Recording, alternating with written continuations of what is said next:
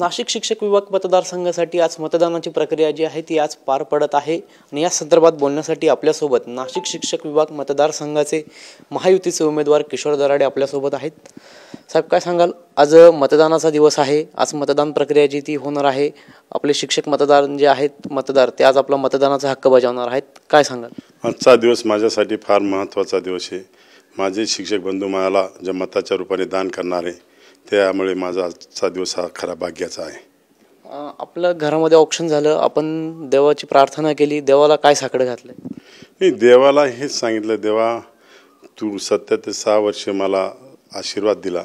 आणि त्या आशीर्वादाच्या जीवर मी सर्व शिक्षक बांधवांचे काम करू शकलो.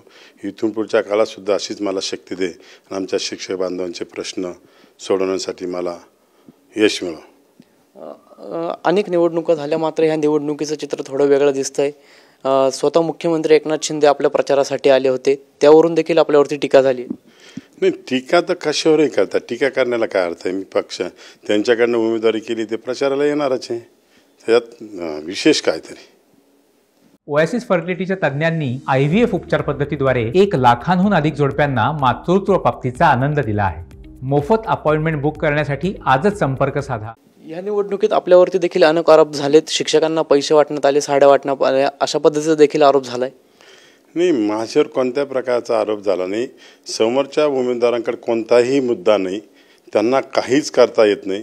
म्हणून ते इनाकारण बदनामी करता खोटे नाटे आरोप करता. आपण बघितलं आपल्याच माध्यमातून बऱ्याच वेळेस बघितलं आहे माझ्या विरोधात खोटा उमेदवार उभी केला किशोर दराड या नावाचा. खोटे खोटे काही आरोप केले. पण याला कुठंही तथ्य नाही. मी सातत्याने शिक्षकांच्या प्र याच्यात राहिलो मी. आणि प्रामाणिकपणे शिक्षकांची सहा वर्ष मी सेवा केली.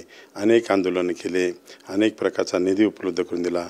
प्रामुख्याने जुन्या पेन्शन योजना हा एकोणीस वर्षाचा प्रलंबित प्रश्न होता. पण मी आमदार झाल्यानंतर स्वतः मी पूर्ण लक्ष देऊन तो सोडवण्याचा प्रयत्न केला. मग आझाद मैदानला सोळा दिवस समरण उपोषण केलं. पुन्हा भिडेवाडा ते मंत्रालय पायी दिंडी काढली. वर्धा ते नागपूर पायी दिंडी काढली. एवढे करूनसुद्धा मी सरकारमध्ये असूनसुद्धा आमच्या शिक्षकांसाठी त्यांच्या विरोधात गेलो आणि सुप्रीम कोर्टात मी पिटिशन दाखल केले. महाराष्ट्रातला एकमेव आमदार आहे. का स्वतःचा वकील लावून आमच्या शिक्षकांना न्याय मिळण्यासाठी मी सुप्रीम कोर्टात गेलेलो आहे. पण सुप्रीम कोर्टाकडनं न्याय मिळणारच पण त्याच्या आधी सुद्धा राज्याचे मुख्यमंत्री यांनी आताच घोषित केलं का येणाऱ्या अधिवेशनमध्ये आम्ही तुम्हाला जुनी पेन्शन योजना लागू करू.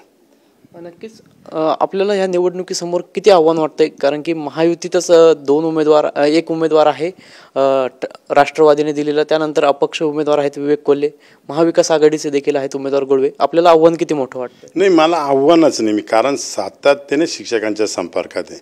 गेल्या एक वर्ष करोनाचा काळ जर सोडला तर पाच वर्षापर्यंत मी प्रत्येक शिक्षकांपर्यंत पोहोचलेलो.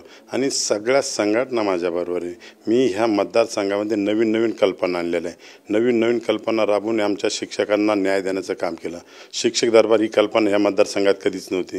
मी प्रत्येक शाळांना सत्तर टक्के शाळांना गेल्या पाच वर्षात मी भेटी दिलेल्या आहे. प्रत्येक आंदोलन केलेले आहे. मी आत्तापर्यंत जेवढा निधी आणला तेवढा इतिहासात या मतदारसंघामध्ये काही कोणाला निधी मिळवता आला नाही. मी पहिले सोळाशे पन्नास कोटी ज्युनियर कॉलेजसाठी आणले. माध्यमिकसाठी मी अकराशे साठ कोटी रुपये आणले. फरक बिलं मेडिकल बिलं रजारुकीकरणाची बिलं हे पंधराशे कोटी रुपये आणले.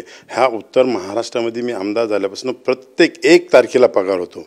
एक तारखेला नाही आता तर हल्ली आली एकतीस तारखेला किंवा तीस तारखेलाच त्यांच्या नावावर पगार पडतो आणि एक तारखेला ते काढायला लागतं. म्हणजे खूप बदल केला आहे शिक्षण क्षेत्रात.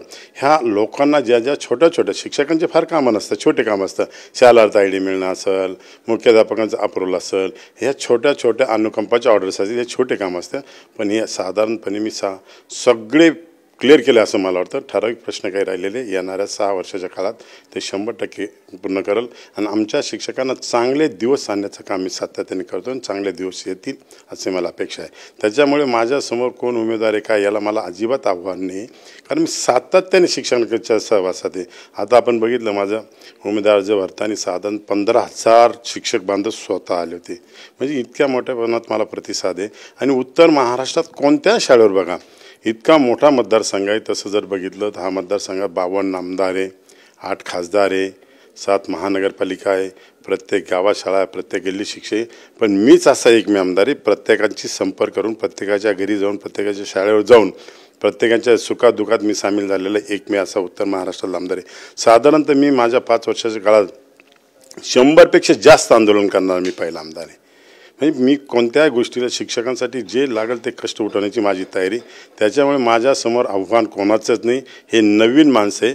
आणि नवीन माणसाला दिमत वाया घालण्यात लोक इंटरेस्टेड नाही. त्याच्यामुळे माझा विजय पक्का आहे असं शंभर टक्के मी आपल्या माध्यमातून सांगतो.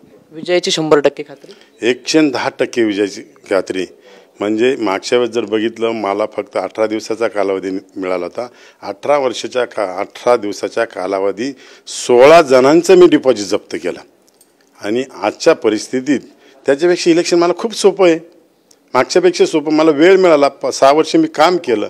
त्याच्यामुळे माझ्या पुढं कोणाचंही आव्हान नाही असं नक्की मी सांगतो. नक्कीच. धन्यवाद. आपण दिलेल्या प्रतिक्रियेसंदर्भात आपल्यासोबत होते महायुतीचे उमेदवार Kishor Darade. Camera person Prasad पवारसह Pawan Yeole.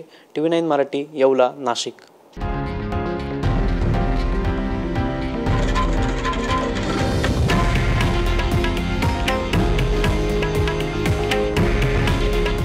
हे आहे देशातील नंबर वन न्यूज नेटवर्क. आणि आपण पाहत आहात टी व्ही नाईन मराठी. काळजी तुमची हित महाराष्ट्राचं.